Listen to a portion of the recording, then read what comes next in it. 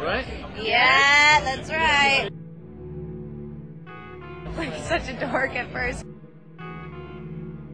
Definitely like a kick-ass, badass uh, demon. Very manipulative, a little tricky, always like one step ahead of the game. Know a lot of people are us. Like. I, I want Bring a little spice into the picture. You guys Start a little into the brother trouble. No. I did too. I agree. Not like. No. No. I, I mean, I don't think so. I think they have a, a totally different flavor.